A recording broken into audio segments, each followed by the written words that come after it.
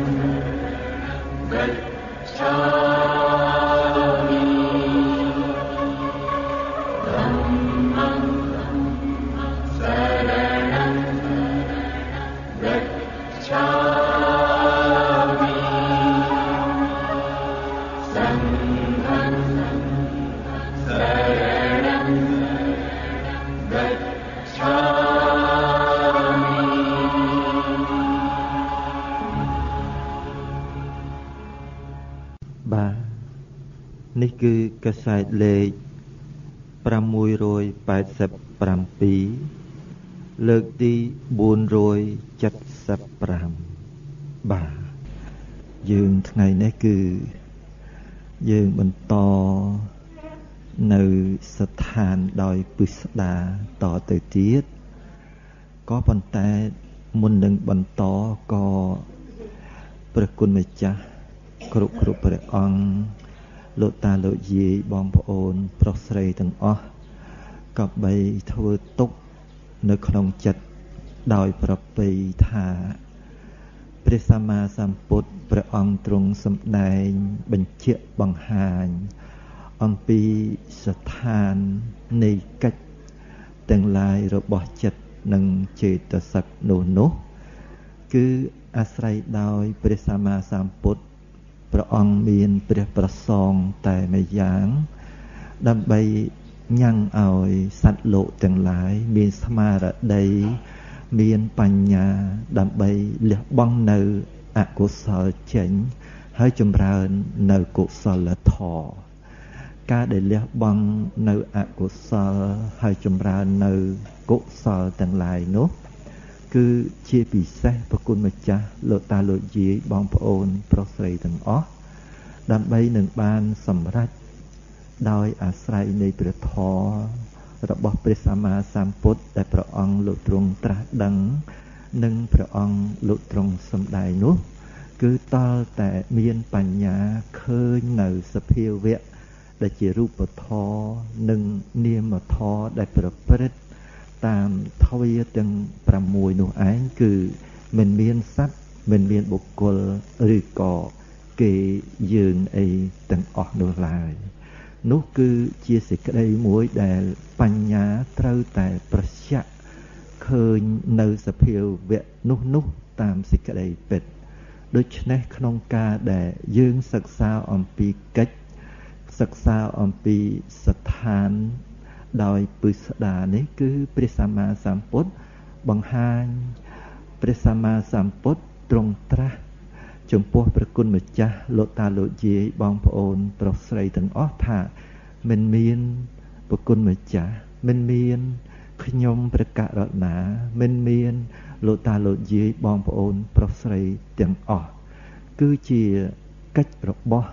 នាមធរសុទ្ធសុទ្ធ ដែលអាស្រ័យទៅដោយវត្ថុរូបនានាតាមសំគួរនៃបច្ច័យតែប៉ុណ្្នឹងឯងគឺមិនមានសត្វបុគ្គលឯណាដើម្បីនឹងធ្វើកិច្ចណាមួយ ក្នុងកិច្ចទាំងឡាយដែលព្រះអង្គសម្ដែងនោះគឺមិនមានតតែសោះទេ គឺមានត្រឹមតែ នាមធរចិត្តនិងចេតសិកតែប៉ុណ្ណោះឯងត្រង់ដែលព្រះសម្មាសម្ពុទ្ធព្រះអង្គលើកនៅ នាមធរដែលធ្វើកិច្ចទាំងឡាយក្នុងស្ថានទាំងឡាយនានាតាមសំគួរនឹងឯងគឺជាសេចក្តីបញ្ជាក់ច្បាស់ចំពោះព្រះគុណម្ចាស់លោកតាលោកយាយបងប្អូនប្រុសស្រីទាំងអស់ថាមិនមានព្រះគុណម្ចាស់មិនមានលោកតាលោកយាយបងប្អូនប្រុសស្រីទាំងអស់ដូច្នេះនៅតែខណៈសម័យដែលព្រះគុណម្ចាស់លោកតាលោកយាយបងប្អូនប្រុសស្រីទាំងអស់ ចម្រើននៅសតិចម្រើននៅបញ្ញាដើម្បីទល់នឹងសភាវៈតាមសេចក្តីពិតតែប៉ុណ្ណោះឯងបន្តិចម្ដង បន្តិចម្ដងសន្សំសន្សំប្រគុណម្ចាស់គង់នឹងបញ្ញាចាស់ខ្លាឃើញនៅសភាវៈដែលព្រះអង្គសម្ដែងថាត្រឹមតែជារូបធម៌និងនាមធម៌នឹងឯងគឺឃើញដោយជាច្បាស់ ដោយបញ្ញាដោយស្មារតីរបស់ប្រគុណម្ចាស់ផ្ដាល់ខ្លួនរបស់លោកតាលោកយាយបងប្អូន ប្រុសស្រីទាំងអស់ផ្ដាល់ខ្លួនតែម្ដង ការដែលព្រះគុណម្ចាស់បានឃើញនៅសភាវៈតាមសេចក្តីពិតកាលដែលលោកតាលោកយាយបងប្អូន ប្រុសស្រីទាំងអស់ឃើញនៅសភាវៈតាមសេចក្តីពិតខណៈនោះឯងដែលការរលឹកនៅគុណរបស់ព្រះសម្មាសម្ពុទ្ធ ការរលឹកនៅគុណរបស់ព្រះធម៌ការរលឹកនៅគុណរបស់ព្រះសង្ឃនៃប្រគុណម្ចាស់លោកតាលោកយាយបងប្អូន ប្រុសស្រីទាំងអស់មិនកំរើកដោយអំណាចនៃកិលេសណាមួយដូចឡើយគឺអាស្រ័យដោយបានអាស្រ័យដោយបញ្ញារបស់ប្រគុណម្ចាស់លោកតាលោកយាយបងប្អូន ប្រុសស្រីទាំងអស់នឹងឯងបានឃើញធម៌អ្វីដែលព្រះអង្គលោកទ្រង់ត្រាស់ដឹងហើយព្រះអង្គលោកទ្រង់សម្ដែង គឺព្រះគុណម្ចាស់លោកតាលោកយាយបងប្អូន ប្រុសស្រីទាំងអស់បានឃើញធម៌នោះនោះដោយបញ្ញាខ្លួនឯងនេះគឺជាបដិបទានេះគឺជាសេចក្តីប្រតិបត្តិចាំបាច់នៅក្នុងជីវិត របស់ព្រះគុណម្ចាស់ក្នុងជីវិតរបស់លោកតាលោកយាយបងប្អូនប្រុសស្រីទាំងអស់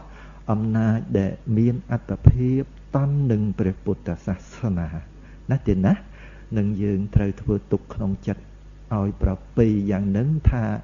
ទោះជាឥឡូវនេះប្រគុណម្ចាស់ហើយប្រគុណម្ចាស់ខំសិក្សាខំស្ដាប់ច្រើនបាទយ៉ាងណាយ៉ាងណាក៏ដោយលោកតាលោកយាយបងប្អូនប្រុសស្រីទាំងអស់ខំសិក្សាខំស្ដាប់នៅធម៌របស់ព្រះអង្គច្រើនយ៉ាងយ៉ាងយ៉ាងណាយ៉ាងណាក៏ដោយហើយនៅតែមិនតាន់ឃើញសភាវៈណាមួយដោយបញ្ញាពិតប្រកបរបស់ខ្លួននោះក៏ នៅតែមានសេចក្តីសង្ឃឹមជានិច្ចកុំរាថយណាទេណាកុំងាកត្រឡប់ថយក្រោយប្រគុណម្ចាស់គឺថាយើងមានជំនឿជឿទុកចិត្តដោយដោយម៉ត់ចត់យ៉ាងមមមួនជាទីបំផុតថាសេចក្តីព្យាយាមរបស់អាត្មាអញបែបនេះ តាមអវាទរបស់ព្រះសម្មាសម្ពុទ្ធគឺថាប្រកាសជានឹងបានឃើញបាទដោយពិតប្រកបណាទេណា ក្នុងកាលណាមួយ ឬក៏ក្នុងសម័យណាមួយ ឬក៏ក្នុងជាតិណាមួយ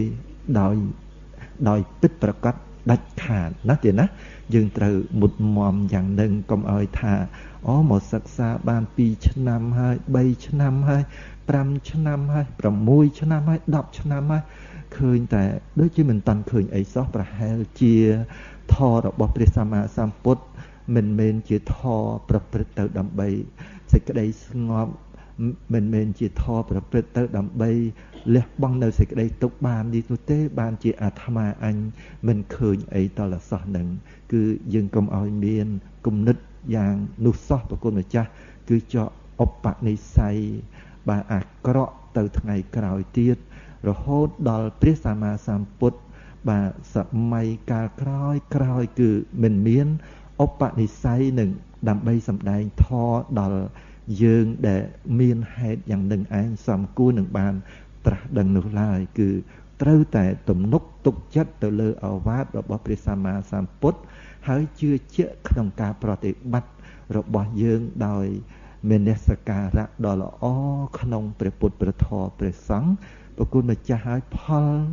កាលណាព្រមលមុំដល់ហេតុរបស់ប្រគុណម្ចាស់ លោកតាលោកយាយបងប្អូនប្រុសស្រីទាំងអស់ដែលបានសន្សំ បន្តិចម្ដង បន្តិចម្ដងគង់នឹងប្រគុណម្ចាស់បានសម្រេចនៅពេលណាមួយមិនខានណាទៀតណាបាទឥឡូវយើងគិតបន្តចូលទៅក្នុងស្ថានមួយទៀតគឺស្ថានអីគឺស្ថានអីទេណាតតិលំបនៈស្ថានយើងយើងបាន12ស្ថានហើយណា នៅតែ2ស្ថានទៀតទេគឺតតិលំបនៈស្ថានហើយនឹងចុតិស្ថានតោះហើយទៀតណាឥឡូវខ្ញុំសុំសួរខ្ញុំសុំសួរថាឥឡូវយើងកំពុងតែសិក្សាចង់ឲ្យដឹងថាតើតតិលំបនៈស្ថានដែលព្រះសម្មាសម្ពុទ្ធព្រះអង្គលោកទ្រង់សម្ដែងថាមានប៉ុន្មានស្ថាន មាន2ស្ថាន ហើយ2ស្ថាននឹងឯងនៅត្រង់រវាងណា បាទរវាងនៃចិត្តណានិងចិត្តណាណាទីណាដើម្បីនឹងឲ្យបានដឹងឲ្យបានដឹងថាតតិលំបនៈស្ថាននឹងឯងនៅរវាងនៅចន្លោះរវាងចិត្តណានិងចិត្តណានោះដូច្នេះយើងស្រាវជ្រាវនៅស្ថានមុនមុនដែលយើងបានដែលយើងបានសិក្សាមកហើយថា តើមានមានចិត្តណា មានចិត្តណា មានស្ថានណា ដែលនៅខាងមុខនៃតតិលំបនៈចិត្តកាលណាយើងឃើញស្ថានណានៅខាងមុខនៃតតិលំបនៈចិត្តយើងនឹងអាចបាទយើងនឹងអាចកំណត់ថាតតិលំបនៈស្ថាននឹងឯងមានចិត្តនេះឯងនៅខាងមុខណាទេណាហ្នឹងហើយដូច្នេះខ្ញុំចង់សួរថាតើ បដិសន្ធិស្ថាននឹងឯងបដិសន្ធិស្ថានហ្នឹងទេណានៅខាងក្រោយបដិសន្ធិស្ថាន មានតតិលំបនៈចិត្តដែរឬទេនៅខាងក្រោយនៃបដិសន្ធិស្ថានមានតតិលំបនៈចិត្តដែរឬទេអត់មានទេ មានតែចិត្តអីមានតែចិត្តអីឥឡូវខ្ញុំស្រាប់ម្ដងទៀតណាតាមខ្ញុំណា ខ្ញុំទៅទៅមួយមួយកុំលឿនពេកណាខ្ញុំចង់សួរឥឡូវយើងគោលបំណងយើងទាំងអស់គ្នាចង់ដឹងអំពីតតិលំបនៈស្ថានណាទីណាតែនៅរវាងចន្លោះចិត្តស្អីនឹងនឹងចិត្តអីណាទីណាដើម្បីនឹងបានឃើញនៅតតិលំបនៈស្ថាននៅចន្លោះរវាងចិត្តចិត្តស្អីនិងចិត្តស្អីនោះយើងត្រូវ បាទសាររើនៅស្ថានមុនមុនដែលយើងធ្លាប់សិក្សាមកហើយតើយើងមានធ្លាប់ឃើញថាតើស្ថានណាដែលនៅខាងមុខតតិលំបនៈចិត្តណាទីណាកាលណាយើងឃើញស្ថានណានៅខាងមុខតតិលំបនៈចិត្តប្រកាសជាយើងអាចកំណត់តតិលំបនៈស្ថាននឹងឯងមានចិត្តនេះនៅខាងខាងមុខហើយមិនចឹងហ៎យល់ទេយល់ទេនៅបងអ៊ីណា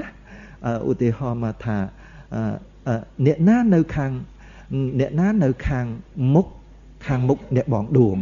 ណ៎អ្នកណានៅអង្គុយខាងមុខអ្នកបងដួងយើងយើងដឹងថាអូអ្នកអ្នកបងមួនបាទអ្នកបងមួនអ្នកមីងមួនលោកយាយមួននៅខាងមុខអ្នកបងអ្នកបងដួងណាទេណាកាលណាយើងដឹងថាអ្នកបងមួននៅអង្គុយខាងមុខអ្នកបងដួងដូច្នេះយើងអាចកំណត់ថា ខាងក្រោយខាងក្រោយអ្នកបងមួនតើអ្នកណាយើងយើងកំណត់បានដែរបានប្រគល់ម្ចាស់គឺអ្នកបងដួងនៅខាងក្រោយអ្នកបងមួនដល់តន់ទេទេណាយ៉ាងណាស្ថាននេះក៏អញ្ចឹងឲ្យតែយើងឃើញស្ថានណាដែលនៅខាងមុខតតិលំបនៈចិត្តយើងនឹងអាចកំណត់ថាតតិលំបនៈស្ថាននឹងឯងមានចិត្តនេះនៅខាងខាងមុខយល់បានទេអឺ ហ្នឹងណាឥឡូវខ្ញុំសួរបដាបដាសិនចាំឆ្លើយណាចង់សួរថាឥឡូវយើងរៀនអំពីបដិសន្ធិស្ថានហ្នឹងមិនអញ្ចឹងណាតើបដិសន្ធិស្ថាន នៅខាងក្រោយបដិសន្ធិស្ថាននោះ មានតតិលំបនៈចិត្តដែរទេអត់ទេ មានតែចិត្តអីភៈវាំងអញ្ចឹងយើងយើងថាបដិសន្ធិចិត្តនៅ ខាងមុខតតិលំបនៈស្ថានបានដែរអត់បានអញ្ចឹងយើងចោលទៅណាអ យើងចូលមកភេវាំងស្ថានវិញអយើងឃើញថាតើខាងក្រោយ នៃភវង្គៈស្ថានមានតតិលំបនៈចិត្តទេអត់ទេហ៎មានតែចិត្តអីមានតែអាវចនៈចិត្តមានអីទៀតទេមានតែចតិចិត្តអស់ហើយនៅអស់ហើយក្នុងភវង្គិស្ថាន ខាងក្រោយភវង្គិស្ថាននោះឯងមានតែអវចនៈចិត្តណាទីណាទាំងតាមបញ្ចទ្វាទាំងតាមមនោទ្វាមានតែអវចនៈចិត្តទេហើយនឹងចិត្តដែលជាចតិចិត្តអត់មានតតិលំបនៈចិត្តទេអញ្ចឹងយើងអាចកំណត់ថាតតិលំបនៈស្ថាននឹងឯងខាងមុខគឺភវង្គចិត្តបានដែរទេអត់បានជាងចោលហើយណា ឥឡូវអវចនៈស្ថានម្ដងឥឡូវយើងឃើញថាខាងក្រោយអវចនៈស្ថាន មានតតិលំបនៈចិត្តទេមានទេអត់មានទេអញ្ចឹងខាងក្រោយអវចនៈស្ថានគឺចិត្តអីបញ្ចវិញ្ញាណចិត្តមែនទេហើយនឹងអីហើយនឹងជាវិនិច្ចិត្តអញ្ចឹងអត់ឃើញមានតតិលំបនៈចិត្តនៅខាងក្រោយអវចនៈចិត្តទេអ វចនៈស្ថានទេអញ្ចឹងយើងមិនអាចកំណត់ថាតតិលំបនៈស្ថានខាងមុខគឺអវចនៈចិត្តបានដែរទេអត់បានអត់ទេណាអញ្ចឹងយើងចូលរហូតដល់បញ្ចវិញ្ញាណស្ថានដល់បានទេខាងក្រោយបញ្ចវិញ្ញាណស្ថានខាងក្រោយបញ្ចវិញ្ញាណស្ថាន មានតតិលំបនៈចិត្តទេមានចិត្តអីសម្បដិច្ឆន្នចិត្ត មិនចឹងណាអញ្ចឹងយើងមិនអាចកំណត់ថាតតិលំបនៈស្ថាននឹងឯងខាងមុខគឺបញ្ចវិញ្ញាណចិត្តបានឬក៏មិនបានអត់បានទេណាទៀតណាចឹងដេញមកទៀតដេញមកទៀតចូលសម្បដិច្ឆន្នស្ថាន ខាងក្រោយសម្បដិច្ឆន្នស្ថាន ជាតតិលំបនៈចិត្តមានដែរទេអត់អត់មានអញ្ចឹងខាងក្រោយសម្បដិច្ឆន្នស្ថាន គឺជាចិត្តអីសន្តិរណចិត្ត អញ្ចឹងអត់ទៀតទេអត់មាន គឺថាសន្តិរណសម្បដិឆន្នៈ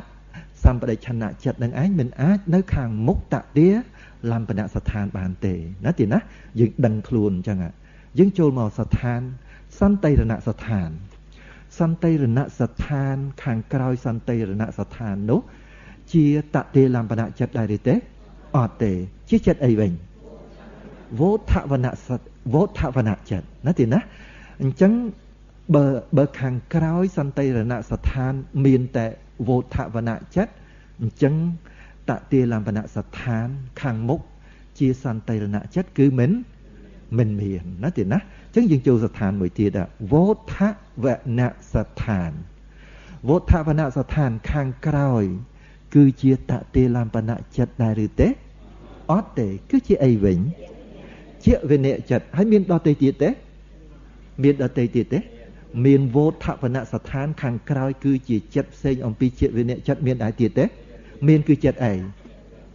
ល្អភៈវាំងណាតាភៈវាំងអញ្ចឹងខាងក្រោយវោធវនៈស្ថានគឺជាវិន័យចិត្តនិងភៈវាំងគៈចិត្តអត់មានឮសូរថាខាងក្រោយវោធវនៈស្ថានតតិលាមរៈចិត្តអត់មាន អញ្ចឹងយើងមិនអាចថាវោធវនៈចិត្តនឹងឯងនៅខាងមុខតតិលំបនៈស្ថានគឺអត់អត់បានទេអញ្ចឹងអស់ហើយណាចូលក្នុងជាវិនិស្ថានយើងសិក្សាមកហើយថាតើជាវិនិស្ថាននេះខាងក្រោយមានចិត្តអីខ្លះតតិលំបនៈចិត្តត្រូវហ៎ត្រូវត្រូវដែលយើងចង់រស់ហើយនៅត្រូវហើយ តតិលំបនៈចិត្តក្នុងបញ្ចទ្វេរវិថៃហើយខាងក្រោយទៀតមានអីទៀតទេមានស្អីភៈវង្គចិត្តក្នុងបញ្ចទ្វេរវិថៃហើយនៅនៅខាងក្រោយទៀតមានអីទៀតទេចតិចិត្តក្នុងបញ្ចទ្វេរវិថៃអញ្ចឹងតាមមេណោទ្វេរីវិថីមានចិត្តស្អីដែលនៅខាងក្រោយជាវិនិស្ថានមានដែរទេមានមានអីតតេលំបនៈចិត្ត នោះដែលយើងត្រូវររអញ្ចឹងយើងឃើញថា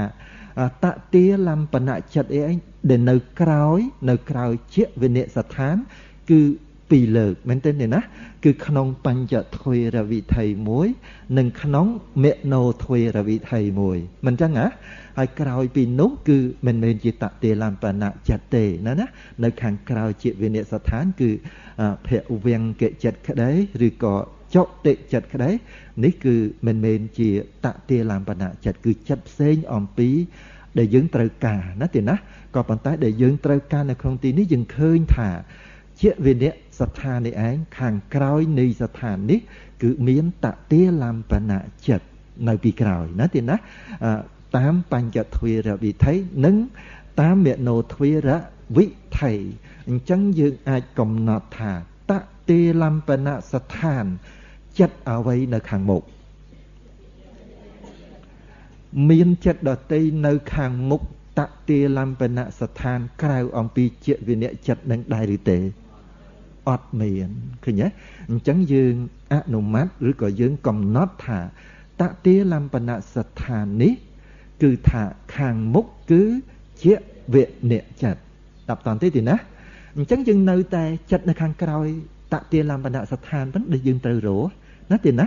អញ្ចឹងបានយើងមើលយើងមើលនៅក្នុងវិថ័យយើងមើលនៅក្នុងវិថ័យយើងមើលនៅក្នុងវិថ័យយើងឃើញថាតាមបញ្ចទ្វារវិថ័យណាទេណាតាមបញ្ចទ្វារវិថ័យក៏ដោយតាមមនោទ្វារវិថ័យក៏ដោយ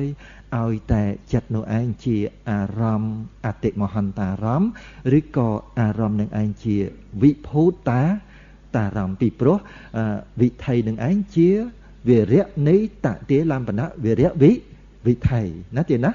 តែខាងក្រោយនៃវិថ័យនឹងឯងមានស្អីខ្លះដល់តែតាមបញ្ចទ្វេរិវិថ័យដូចជាចក្ខុទ្វេរិវិថ័យចិត្តនោះតាំងពីអតីតភវៈរហូតដល់ភវៈគុបឆេតៈចាប់តាំងអំពីអវចនៈចិត្ត គឺឧបេខាមโนធាតអហេតុកកិរិយាធ្វើអវចនៈកិច្ចមក ហើយក៏ចក្ខុវិញ្ញាណធ្វើទេសនៈកិច្ចនៅក្នុងបញ្ចវិញ្ញាណស្ថានមករួចហើយក៏សម្បដិឆន្ទៈសន្តិរណៈវោធវណៈជាវៈអ្នកចិត្តណាទីណារហូតដល់តទាលំបណៈចិត្តធ្វើតទាលំបណៈកិច្ចត្រង់តទាលំបណៈស្ថានជាប់វិរៈនឹងហើយនៅ ជាប់វិរៈវិថីនឹងហើយនៅជាប់ហើយនៅដល់តទាលំបណៈស្ថាននឹងឯងពីរខណៈហើយជាប់ហើយនៅវិថីចិត្តនឹងជាប់នៅការត្រូវជាប់ហើយចិត្តនឹងឯងត្រូវទៅជាស្អីវិញ ទៅជាភៈវាំងអញ្ចឹងយើងឃើញថាខាងក្រោយតទាលំបណៈស្ថាន គឺជាភៈវាំងអញ្ចឹងយើងថាតទេលំបណៈស្ថាននេះឯងនៅចន្លោះរវាងចិត្តអីនិងចិត្តអីជាវិនៈចិត្តនិងភវង្គៈចិត្តឃើញមួយហ៎ ពីព្រោះស្ថានហ្នឹងយើងដឹងថាមានប៉ុន្មានពីរអញ្ចឹងយើងរកឃើញមួយហើយណាតតិលំបណៈស្ថានគឺនៅចន្លោះរវាងជាវិនៈចិត្តនិងភវង្គៈចិត្តនៅមួយទៀតគឺស្អីប្រគុណម្ចាស់នៅមួយទៀតគឺសំដៅយកមរណាសនវិថ័យណាទៀតណាដែលជាតតិលំបណៈវារៈតាមទេទេណា គឺមានតាមបញ្ញទ្វាក្តីឬក៏តាមមេណោទ្វារវិធ័យចិត្តក្តីប្រគុណម្ចាស់នៅខណៈនោះប្រគុណម្ចាស់ហើយមានអារម្មណ៍ដែលជាកម្មមានអារម្មណ៍ដែលជាកម្មនិមិត្តមានអារម្មណ៍ដែលជាកតិនិមិត្តតាមមេណោទ្វារវិថ័យឬក៏តាមបាទបញ្ចទ្វារវិថ័យក៏ប៉ុន្តែវិថ័យចិត្តនៃមរណាសនៈវិថ័យនឹងឯងជាតតិលំបណៈ វេរៈណាទីណាគឺថាតតិលំពណៈនឹងឯងប្រគុណម្ចាស់កើតពីខណៈក៏រលត់ទៅវាសំគួរនឹងថាទៅធ្លាក់ចុះកាន់ភវាំងដូចដូចយើងឃើញលើកមុនមិនអញ្ចឹងណាក៏ប៉ុន្តែវិថីនេះវាមិនត្រូវធ្លាក់ចុះកាន់ភេវាំងទេមកអំពីវិថីនឹងជាវិថីចិត្តស្លាប់មរណាសនវិថីអញ្ចឹងវាទៅធ្លាក់ទៅលើចិត្តឯងចុតិ ប្រគុណម្ចាស់ហើយអញ្ចឹងបន្តអំពីជាវិនៈចិត្តប្រគុណម្ចាស់ដែលតតិលំបណៈចិត្តធ្វើតតិលំបណៈកិច្ចត្រង់ស្ថាននោះគឺត្រូវតែចុតិចិត្តអញ្ចឹងយើងឃើញថាតតិលំបណៈស្ថាន នៅចន្លោះរវាងចិត្តស្អីនិងចិត្តស្អីនៅចន្លោះរវាងជាវិនៈចិត្តនិងចុតិចិត្តនៅក្នុង មរណាសនៈវិថ័យដែលជាតតិលំបណៈវិរៈយល់បានទេទេណាអញ្ចឹងមាន2ណាតតិលំបណៈស្ថាន គឺមានស្ថាន2គឺរវាងជាវិនៈចិត្តនិងភវង្គចិត្តរវាងជាវិនៈចិត្តនិងចុតិចិត្តអត់តន់ទេទីណាស្ដាប់តន់ទេបាទអញ្ចឹងយកសភៅឡើងមកយើងកត់បន្តបាទចុះបន្ត9ក្រហមធំ 9ក្រហមធំតទាលំពនស្ថាន9តទាលំពនស្ថានសរសេរខៀវវិញមានពីរស្ថានគឺ មានពីរស្ថានគឺ ចំណុច2ចុះបន្តដាក់ក្រហមមួយតូចហើយសរសេរខៀវរវាងមួយរវាងសរសេរក្រហមជាវអ្នកចិត្តរវាងជាវអ្នកចិត្ត សរសេរខៀវនឹងនឹងហើយសរសេរក្រហមភវង្គៈចិត្តមួយរវាងជាវអ្នកចិត្តនិងភវង្គៈចិត្តដកឃ្លាបន្តិចសរសេរខៀវក្នុង បញ្ចទ្វេរវិថីក្នុងបញ្ចទ្វេរវិថីនឹងនឹងស្រអេនឹងមនោទ្វេរវិថីក្នុងបញ្ចទ្វេរវិថីនិងមនោទ្វេរវិថី ដែលជាតទាលំពនវេរៈដែលជាតទាលំពនវេរៈខណ្ឌចុះបន្តសរសេរក្រហមលេខ2តូចបាទហើយសរសេរខៀវរវាង 2រវាង ហើយសរសេរក្រហម ជាវអ្នកចិត្តរវាង ជាវអ្នកចិត្តសរសេរខៀវវិញនឹងនឹងបាទសរសេរក្រហមទៀតចុតិចិត្ត 2រវាងជាវអ្នកចិត្តនិងចុតិចិត្តដកឃ្លាបន្តិចសរសេរខៀវក្នុងមរណាសនវិថីក្នុងមរណាសនវិថីដែលជាត ទាលំពនវេរៈដែលជាតទាលំពនវេរៈបាខណ្ឌខ្ញុំមើលសារថ្មីទៀងតាត់ណា9តទាលំពេនស្ថាន មានពីរស្ថានគឺ 1 រវាងជាវនៈចិត្តនិងភវង្គៈចិត្តក្នុងបញ្ចទ្វេរវិថីនិងមនោទ្វេរវិថី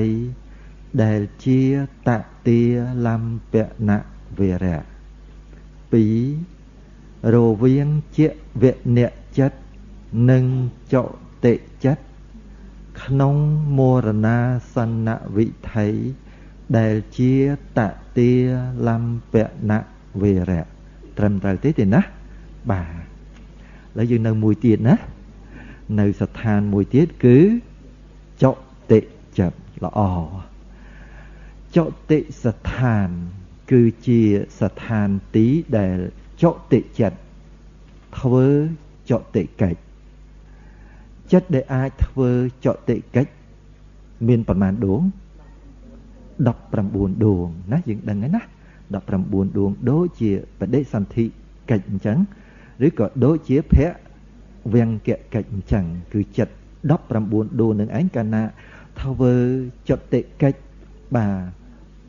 ប្រមាណប៉ុណ្ណាមានមានចំនួនប៉ុន្មានបដិសន្ធិកិច្ចក៏ប៉ុណ្ណឹងភៈវង្គកិច្ចក៏ក៏ប៉ុណ្ណឹងល្អឥឡូវយើងចង់ដឹងពីរឿងចតិស្ថាន ដែលព្រះអង្គសម្ដែងមកថាមានប៉ុន្មានស្ថាន3ស្ថានហើយ3ស្ថានហ្នឹងយើងមិនដឹងថាចតិស្ថានហ្នឹងឯងនៅរវាងចិត្តស្អីនិងចិត្តស្អីទេណាទេណាក៏ប៉ុន្តែមុនដំបូងយើងត្រូវរួចិត្តណាដែលនៅខាងមុខចតិស្ថានណាទេណាតើខាងមុខនៃចតិស្ថាននឹងឯងគឺមានចិត្តស្អីខ្លះការដែលយើងអាចដឹងយ៉ាងនោះបាន គឺយើងត្រូវ បាទរាវរោគបាទនៅស្ថានមុនមុនដែលយើងបានសិក្សាហើយណាទេណាឥឡូវនៅក្នុងបដិសន្ធិស្ថាន ខាងក្រោយបដិសន្ធិស្ថាននោះមានចិត្តអីភៈវាំងមានចុតតិអេអត់អត់មានចុតតិចិត្តដែលដែលមានទេប្រគុណម្ចាស់ដែលមានបដិសន្ធិស្ថានហើយចុតតិចិត្តដែលមានដែរអត់ដែលមានទេណា ក៏ប៉ុន្តែប្រគុណម្ចាស់យើងចុះចុះក្រន់តែក្រន់តែក្រន់តែទីរកនឹងប្រគុណម្ចាស់សัตว์នឹងឯងបដិសន្ធិក្នុងក្នុងតួរបស់មេដាវឹបនឹងស្លាប់នៅនឹងតែម្ដងទៅណងគឺថាស្លាប់នឹងក៏យ៉ាងណាយ៉ាងណាក៏ដោយក៏មិនដែលមានចតិបន្តអំពីបដិសន្ធិដែរណាទីណាមិនដែលមានទេគឺថាត្រូវតែបដិសន្ធិរួចស្អី ភៈវាំងសិនហើយភៈវាំងរួចទៅយ៉ាងម៉េចយ៉ាងម៉េចទៅចាំទៅរួចចតិត្រូវបន្តមកអវចនៈស្ថានអីតទៀតណាទីណា បានវាទៅដល់ចតិណាទីណានឹងយើងយើងសិក្សាយ៉ាងហ្នឹងយើងដឹងថាអូអញ្ចឹងបដិសន្ធិស្ថានមិនមានចតិចិត្តនៅពីក្រោយទេណាណាមិនមានចតិចិត្តនៅបន្ទាប់ពីបដិសន្ធិស្ថានមិនមានទេណាទេណា អញ្ចឹងបើសិនជាបដិសន្ធិស្ថានមិនទេមិនមានទេចុះភវង្គស្ថាននឹងមានដែរឬទេ តែយើងឃើញខាងក្រោយនៃភវង្គស្ថានមានចិត្តអីខ្លះអាវចនៈចិត្តមិនចឹងហ៎ហើយនឹងចិត្តអីចិត្តតិចិត្តត្រូវមិនតែម្ដងយើងកំពុងតែរស់អញ្ចឹងយើងឃើញថាភវង្គស្ថានប៉ុណ្ណឹងសូមអនុមោទនី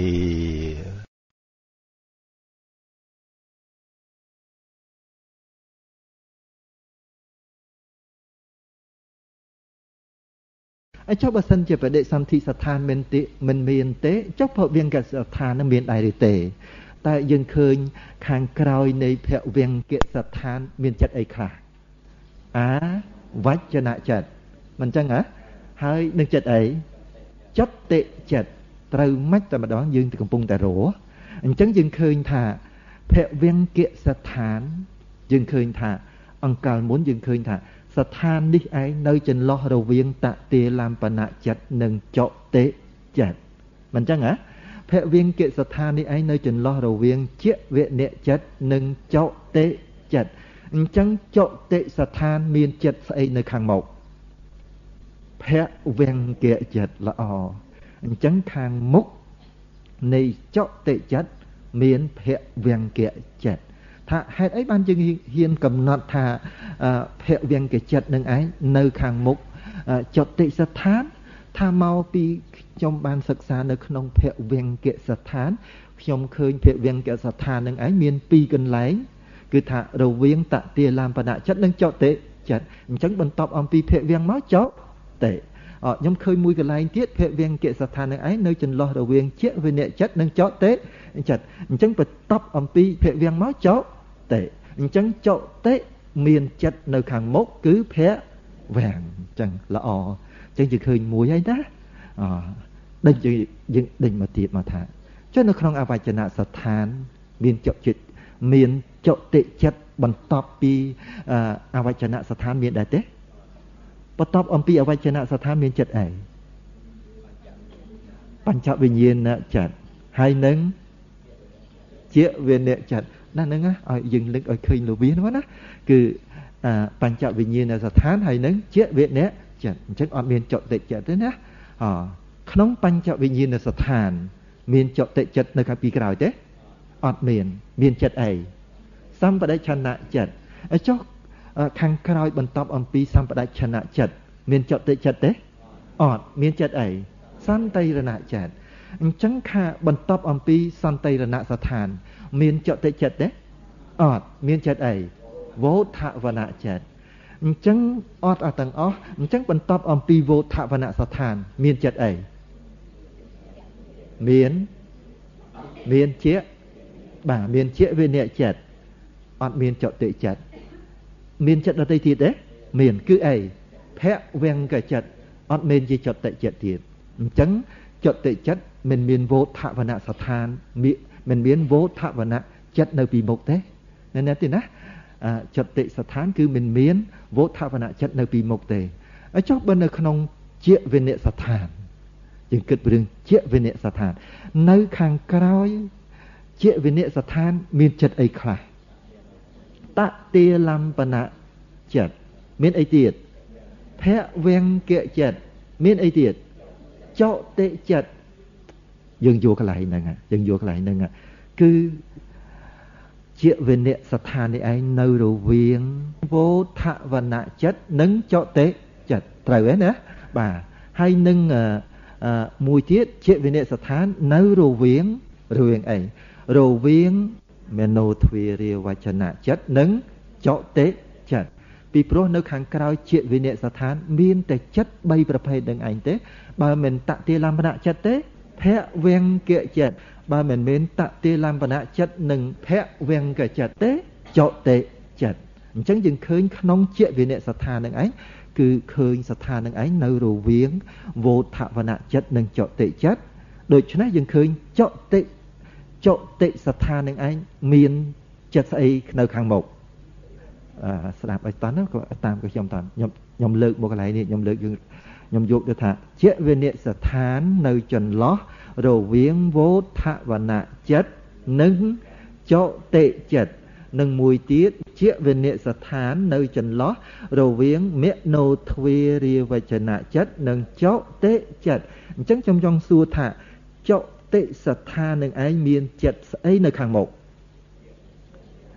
ជាវអ្នកចិត្តតន់ទេទេតន់ទេ តន់ណាបើល្អអញ្ចឹងយើងឃើញលើកមុនយើងឃើញថាចតិចិត្តនឹងឯងមានភវវាំងនៅខាងមុខណាទេណាហើយរួចមកទៀតយើងឃើញចតិចិត្តនឹងឯងមានជាវិន័យចិត្តនៅខាងខាងមុខអញ្ចឹងយើងបានពីរហ៎ទាំងអស់ចតិចតិស្ថានមានប្រមាណ3អញ្ចឹងនៅប្រមាណមួយទៀតល្អឥឡូវយើងរត់ដល់ជាវិន័យស្ថានហើយណានៅតតិលំបនៈស្ថានខ្ញុំចង់សួរថា ខាងក្រោយតតិលំបនៈស្ថាន មានចិត្តអីខ្លះភវង្គៈចិត្តនិងចតិចិត្តត្រូវម៉ាច់តែម្ដងនេះណាយើងឃើញតតិលំបនៈស្ថាន គឺនៅចន្លោះរវាងជាវិន័យចិត្តនិងចតិចិត្តអញ្ចឹងចតិស្ថាន មានចិត្តអីនៅខាងមុខតនឹងឲ្យយើងយើងវាបកមកវិញវាមិនតន់ណាអឺ ខ្ញុំថាសាថ្មីនេះចាំឆ្លើយឲ្យត្រូវណាយើងឃើញថាតតិលំបនៈស្ថាននៅរវាងជាវិនៈចិត្តនិងចតិចិត្តតើបានទេទេណាអញ្ចឹងចតិស្ថាននឹងឯងមានចិត្តស្អីនៅខាងមុខតតិលំបនៈចិត្តអញ្ចឹងយើងឃើញចតិស្ថានមានចិត្ត3នៅខាងមុខមិនអញ្ចឹងហ៎ភវង្គចិត្តមួយ ជាវិនៈចិត្តមួយនិងតទាលំបនៈចិត្តមួយល្អក៏ប៉ុន្តែវាមិនដឹងថានៅខាងក្រោយចតិស្ថាននឹងគឺស្អីយើងវាអត់ដឹងមិនចឹងណាយើងវាអត់ដឹងទេតន់ទេទេណាក៏ប៉ុន្តែយើងចង់ដឹងអំពីថាខាងក្រោយចតិស្ថាននឹងឯងគឺជាខាងក្រោយចតិស្ថាននឹងគឺជាចិត្តអីអញ្ចឹងយើងតើដឹងថាតើខាងក្រោយនៃចតិគឺ ស្ថានអីយើងឃើញថាខាងក្រោយចតិចិត្តមានស្ថានអីនៅពីពីពីក្រោយវាមានបដិសន្ធិចិត្តហ៎មានបដិសន្ធិចិត្តហ៎មានមានមានស្ថានដតីក្រៅអំពីបដិសន្ធិមានស្ថានដតីក្រៅអំពីបដិសន្ធិស្ថាននៅខាងក្រោយចតិមានដែរទេអត់មានតែបដិសន្ធិស្ថានអញ្ចឹងយើងបានសេចក្តីថាចតិស្ថានហើយបដិសន្ធិ អត់មានស្អីទៀតទេតាមបានទេទេណាអញ្ចឹងប្រគុណម្ចាស់ហើយចតិស្ថាននឹងឯងមាន3ស្ថាន មាន3ស្ថានគឺនៅខាងមុខស្ថាននឹងគឺជួនកាលក៏ភវង្កចិត្តជួនកាលក៏ជាវិនយចិត្តជួនកាលក៏តតិលំបនៈចិត្តក៏ប៉ុន្តែខាងក្រោយចតិស្ថាន មានតែចិត្តតែមួយយ៉ាងទេគឺបដិសន្ធិចិត្តស្លាប់ហើយត្រូវតែ កើតដោយគ្មានអ្វីមករារាំងទេណាទៀតណាចតិព្រឹបបដិសន្ធិវឹបតែម្ដងតន់ទេទៀតណានេះដែលយើងឃើញនៅរូបមន្តទ្រឹស្ដីនៃធម្មជាតិប្រគុណម្ចាស់សុទ្ធសុទ្ធប្រគុណម្ចាស់ដែលកើតឡើងអាស្រ័យដោយហេតុបច្ច័យក៏ប៉ុន្តែសัพពញ្ញុតញ្ញាណរបស់ព្រះសម្មាសម្ពុទ្ធអាស្រ័យដោយសន្សំនៅបារមីប្រគុណម្ចាស់លោកបានព្រះអង្គលោកបានដឹងនៅ បាទនិយាមរបស់ធរទាំងនោះដែលជាសង្ខារធរដែលជាអសង្កតធរគឺប្រឆាក់ដល់បញ្ញាញាណរបស់ព្រះអង្គណាទេណាកប់បីនឹងយើងអាចដឹងបាទតាមអវាទរបស់ព្រះសម្មាសម្ពុទ្ធដែលព្រះអង្គលោកសម្ដែងមកយើងឃើញថាអូគឺសត្វទាំងឡាយគឺស្ថិតនៅក្នុងសភាពនៃសេចក្តីស្លាប់ហើយកាលណាមានតាន់អស់នៅអាសវៈទេ គឺត្រូវតែមានបដិសន្ធិបន់ តដោយគ្មានអ្វីមករារារាំងនោះទេណាទីណាអញ្ចឹងយើងយើងខណៈនេះយើងរួទៅយើងឃើញថាចតិស្ថាននឹងឯងមានស្ថាន3ទី1គឺរវាងភវង្គចិត្តនិងបដិសន្ធិចិត្តទី2រវាងជវនៈចិត្តនិងបដិសន្ធិចិត្តទី3រវាងតតិលំបនៈចិត្តនិងបដិសន្ធិចិត្តយល់បានទេទីណា បាទអញ្ចឹងយើងកត់បន្តណាទីណាបាទបាទចុះបន្តដាក់លេខក្រហម បាទដាក់លេខក្រហមធំ10ហើយសរសេរក្រហម10ចុតិស្ថាន10ចុតិស្ថានដកឃ្លាបន្តិចសរសេរខៀវ មាន3ស្ថានគឺ មាន3ស្ថានគឺ ចំណុច2ចុះបន្តដាក់មួយតូចក្រហមសរសេរខៀវរវាង1រវាងសរសេរក្រហមត ទាលំពនចិត្ត1រវាងតទាលំពនចិត្តសរសេរខៀវ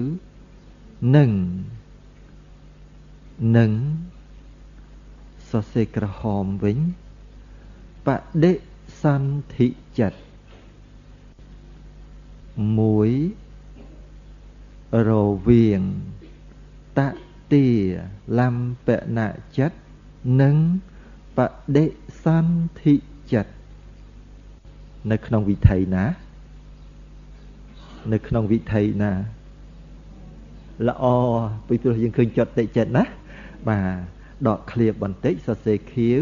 ក្នុងមរណាសនវិថីក្នុង មរណាសនវិថីដែលជាតទាលំពនវិរៈដែលជាតទាលំពនវិរៈខណ្ឌចុះបន្តដាក់ពីរតូចក្រហម ហើយសរសេរខៀវរវាង 2រវាងសរសេរក្រហមជាវអ្នកចិត្ត2រវាងជាវអ្នកចិត្តសរសេរខៀវវិញនឹងនឹងហើយសរសេរក្រហមបដិសន្ធិចិត្ត បដិសន្ធិចិត្តដកឃ្លាបន្តិចសរសេរខៀវក្នុងមរណាសនៈវិថីក្នុងមរណាសនៈវិថីដែលជាជាវិនៈវេរៈ ក្នុងមរណាសនៈវិថីដែលជាជាវិនៈវេរៈអញ្ចឹងយើងចុះបន្តចូលទី3វិញបាទ3តូចក្រហមសរសេរខៀវរវៀងបាទ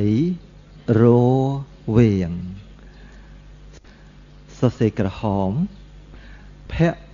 វៀងគៈចិត្ត 3រវៀងភៈវៀងគៈចិត្តសរសេរខៀវនឹងនឹងសរសេរក្រហមវិញបដិសន្ធិចិត្ត3រវាងភៈវាងគៈចិត្តនិងបដិ សន្ធិចិត្តសរសេរខៀវដកឃ្លាបន្តិច ក្នុងមរណាសនៈវិថីក្នុងមរណាសនៈវិថីដែលជាតតិលំពនៈវរៈដែលជា តតិលំពនៈវរៈឬជាវនៈវរៈដែលជាតតិលំពនៈវរៈឬជាវនៈវរៈខណ្ឌបាទតន្តិទីនតន្រំលងរំលងរំលង3បតតចុះមកក្រោមមកទៅសេចំកណ្ដាលជាប់កិច្ចសង្កហៈចបបតអបាទជាប់កិច្ចសង្កហៈបាទយើងលើកក្រោយយើងចូលសង្កហៈថ្មីមួយទៀតគឺទ្វាសង្កហៈអញ្ចឹងខ្ញុំខ្ញុំមើលសារថ្មីណាទីណាទៀងតាត់ 10 10ចតិស្ថាន មាន3ស្ថានគឺ1រវាងតតិលំបនៈចិត្តនិងបដិសន្ធិចិត្តក្នុងមរណាសនៈវិថីដែលជាតតិលំពនៈវេរៈ 2រវាងជាវនៈចិត្តនិងបដិសន្ធិចិត្តក្នុងមរណាសនៈវិថីដែលជាជាវនៈវេរៈ3រវាងភវង្គចិត្តនិងបដិសន្ធិចិត្តក្នុងមរណាសនៈវិថី ដែលជាតតិលំពនៈវរៈឬជាវនៈវរៈត្រឹមទៅហើយទេណានឹងប្រគុណម្ចាស់ហើយគឺយើងបានសិក្សាបាទវេទនាសង្កហៈយើងបានសិក្សាអំពីហេតុបាទហេតុសង្កហៈឥឡូវយើងបានមកសិក្សាអំពីកិច្ចបាទសង្កហៈ ចប់ដោយសពគ្រប់ណាទៀតណាអញ្ចឹងប្រគុណម្ចាស់ហើយលោកតាលោកយាយបងប្អូនប្រុសស្រីទាំងអស់ព្រះសម្មាសម្ពុទ្ធព្រះអង្គលោកទ្រង់សម្ដែងអំពីសង្កហៈបាទទាំងឡាយដែលព្រះអង្គលើកមកបាទត្រាស់សម្ដែងនោះឯងគឺគោលបំណងរបស់ព្រះសម្មាសម្ពុទ្ធដើម្បីញ៉ាំងឲ្យប្រគុណម្ចាស់លោកតាលោកយាយបានបងប្អូនប្រុសស្រីទាំងអស់យល់នៅព្រះ ព្រះពុទ្ធបាទដីកាហើយយើងនឹងប្រតិបត្តិតាមដើម្បីលះបង់នៅកិលេសមិនមែនយើងសិក្សាដើម្បីនឹងចំណេះចេះដឹងតែប៉ុណ្្នឹងទេគឺឲ្យមានចំណេះចេះដឹងនៅក្នុងព្រះពុទ្ធសាសនាផង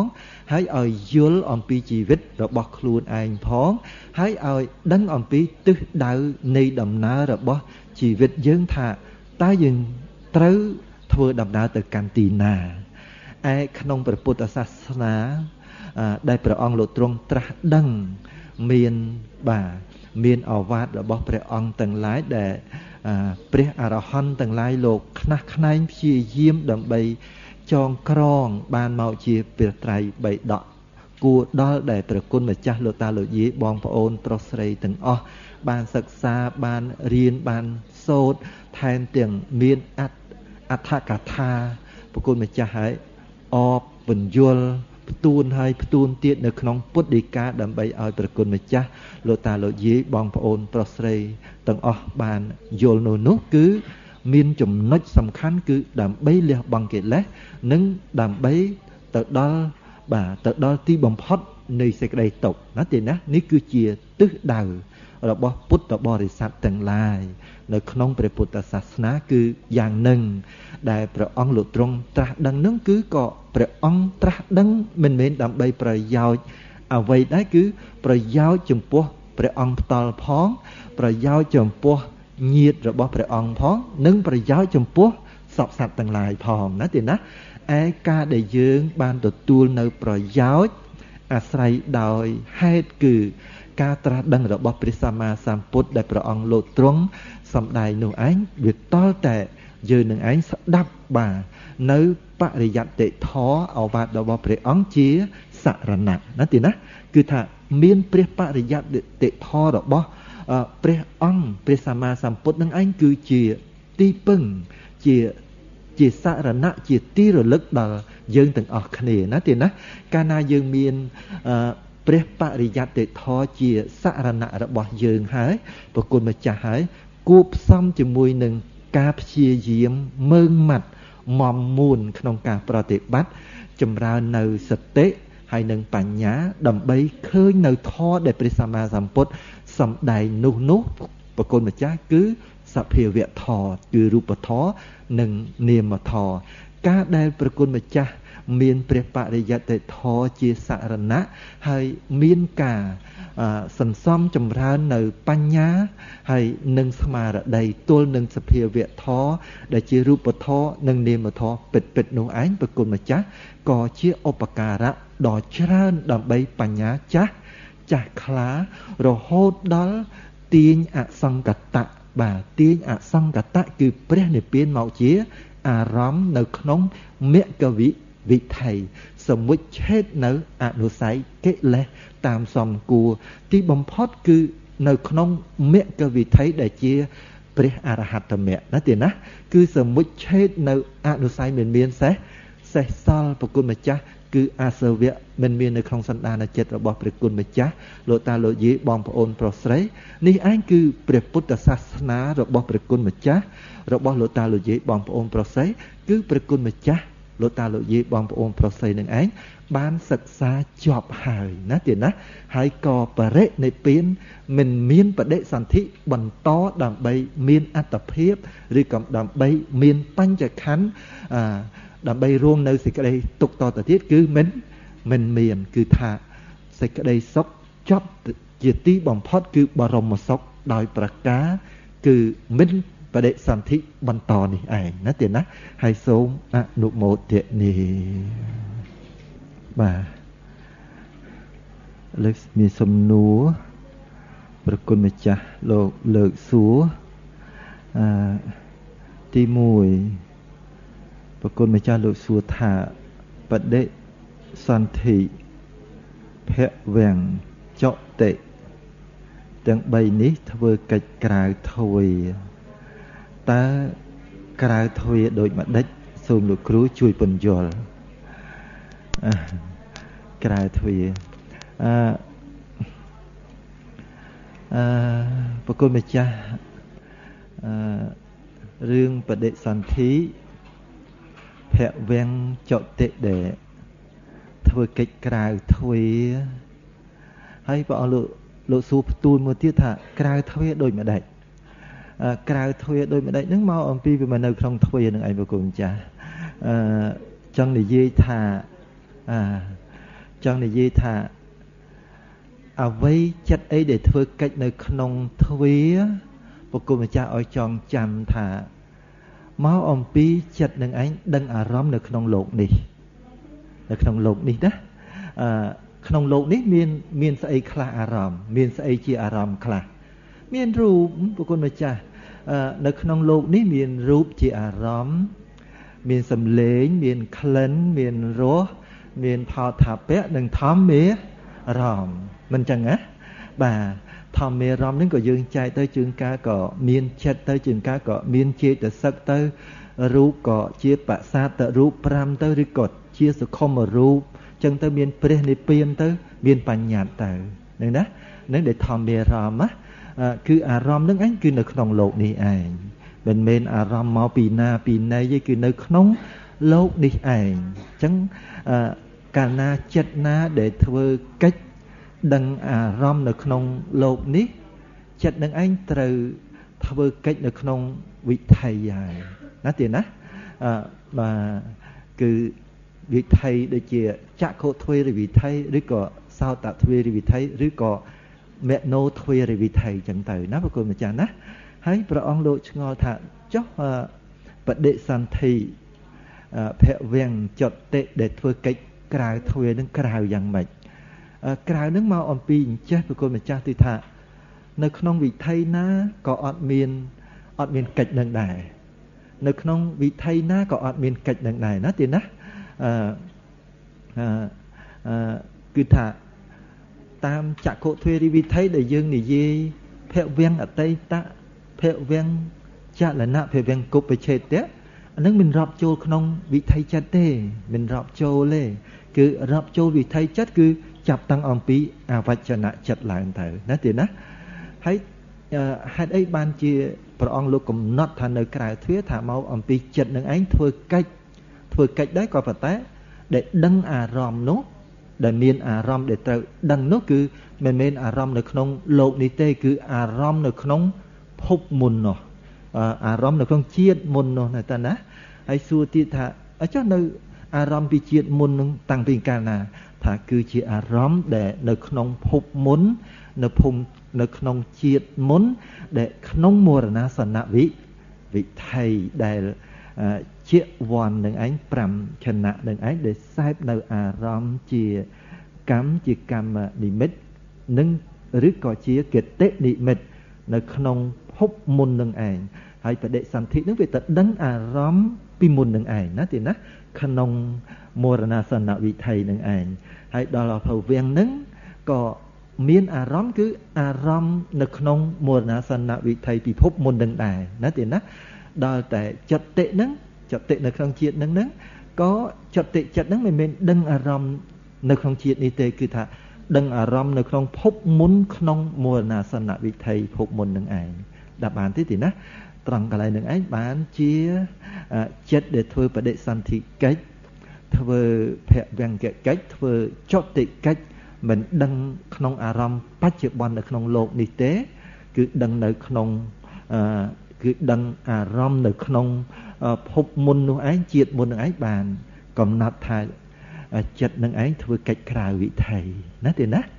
នឹងប្រកេនដល់ប្រគុណម្ចាស់ប៉ុណ្ណឹងហើយមិនយល់យ៉ាងណាយ៉ាងណាចាំប្រគុណម្ចាស់និមន្តសួរមកទៀតមកទៀតណា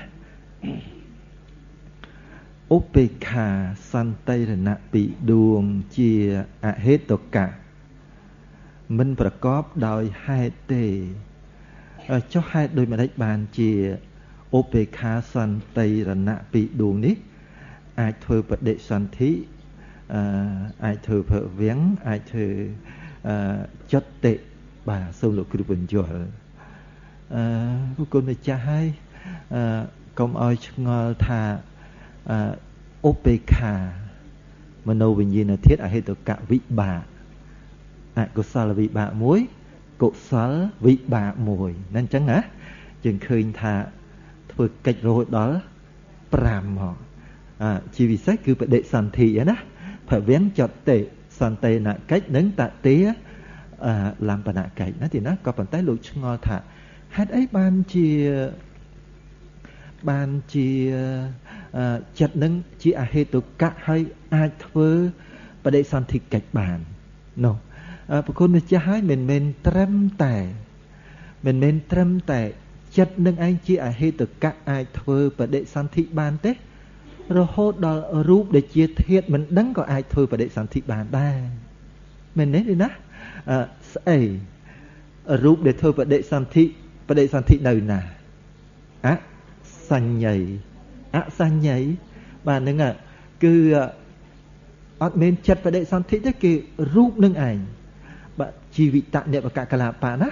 គឺធ្វើបដិសន្ធិកិច្ចនឹងតែម្ដងធ្វើបដិសន្ធិនៅក្នុងអសញ្ញ័យអត់មានចិត្តស្អីទូចមួយចេតសិកអីទូចមួយទៅរួមជាមួយនឹងរូបនឹងគឺមានមានតឡសោះណាទេណានឹងគឺជាអហេតុកៈហើយថែមទាំងមិនដឹងនៅអារម្មណ៍ទៀត ឯចំពោះឧបេខាមនោវិញ្ញាណធាតអហេតុកៈវិបាកនេះគ្រាន់តែជាអហេតុកៈទេក៏ប៉ុន្តែ ជាធាតដឹងនៅអាអារម្មណ៍នោះអាចធ្វើបដិសន្ធិប្រគុណម្ចាស់មិនបាច់ទៅឆ្ងល់ទេនេះគឺមកអំពីឧបេខាមនោវិញ្ញាណធាតអហេតុកៈ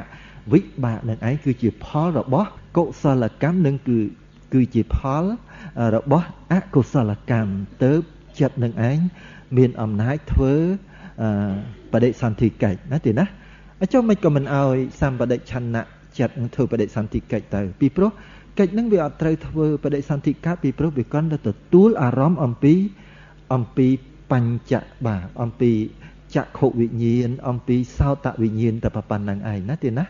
ឯចំពោះសន្តិរណឯងពិចារណា ពិចារណានៅអារម្មណ៍ដូច្នេះបានជាចិត្តនឹងឯងគឺថា មិនត្រឹមតែពិចារណាធ្វើសន្តិរណកិច្ចទេគឺថាធ្វើកិច្ចបដិសន្ធសន្ធិមួយយ៉ាងគឺមកអំពីផលរបស់កុសលកម្មនិងអកុសលកម្មណាទីណានឹងប៉ុណ្ណឹងដូច្នេះប្រគុណម្ចាស់កុំឆ្ងល់ថាអូអហេតុកៈចិត្តសោះអត់មានហេតុកើតរួមជាមួយសោះមិនក៏អាចធ្វើបដិសន្ធិកិច្ចបាន រហូតដល់រូបទៅទៀតនៅប្រគុណម្ចាស់ដែលជាធាតមិនដឹងហើយជាអហេតុកៈដែរហើយអត់ចេះដឹងនៅអារម្មណ៍ក៏អាចធ្វើបដិសន្ធិកិច្ចបានដែរនៅក្នុងអសញ្ញ័យដាក់បានទេទីណាបាទនឹងប្រកេនដល់ប្រគុណម្ចាស់ប៉ុណ្ណឹងណាប្រគុណម្ចាស់ណាបាទមែនបាទមុនមុនទៀនមុនមុនប្រគុណចាស់សិក្សាអំពីចិត្តទេសខាចិត្តទេសខានេះទទួលក៏បានបង្រៀនថា មាន3សិក្សាគឺថាទី4គឺថានៅរវាងតជាលំបណៈហើយនឹងបរិស័ទទីនៅក្នុងបរណាសនបរណាសនថៃដែលជាតដែលជាតជាលំបណៈគេបាទកណាទីនេះគឺនៅរវាងជាវិនៈជាវិនៈចិត្តហើយនឹងបរិស័ទចិត្តក្នុងបរណាសនថៃដែលជាជាវិនៈជាវិនៈវាណាហើយចំពោះ ទី3គឺថានៅរវាងតែរវាងចិត្តនិងបរិស័ទទីកិច្ចដែលជាដល់ក្នុងបរណាសនវិថីដែលជាតជាលក្ខណៈវាហើយនឹងជាវិន័យវាកណាកណាដែលនោះខ្ញុំប្រកាសថាអត់ជាក៏បានសិក្សានៅក្នុងប